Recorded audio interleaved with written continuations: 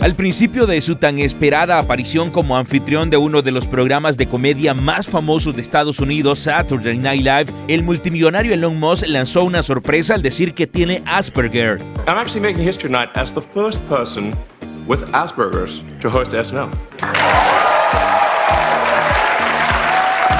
El momento se volvió histórico porque es la primera vez que uno de los hombres más ricos del mundo, dueño de Tesla, empresa fabricante de autos eléctricos y además fundador de SpaceX, empresa fabricante aeroespacial, admite públicamente que tiene esta forma leve de autismo.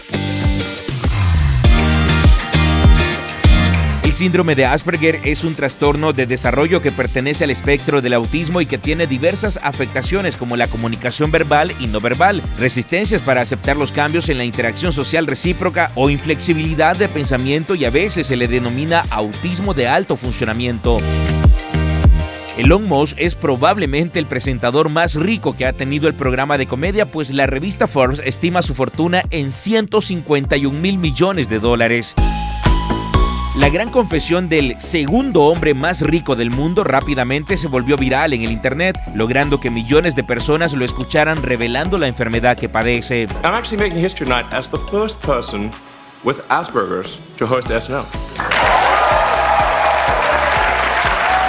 A pesar de lo mucho que puedan pensar, el síndrome de Asperger no resulta limitante y prueba de ello es la cantidad de personajes famosos que han desarrollado sus actividades profesionales sin problema. Anthony Hawkins, No pienso dejar mi piso. Steven Spielberg, The hardest thing to listen to, your instincts, your human personal intuition, always whispers, it never shouts. Keanu Reeves, No está a la venta.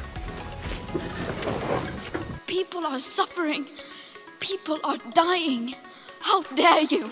o Greta Thunberg son algunas de las celebridades que, al igual que Elon Musk, padecen este trastorno y han tenido éxito en sus campos.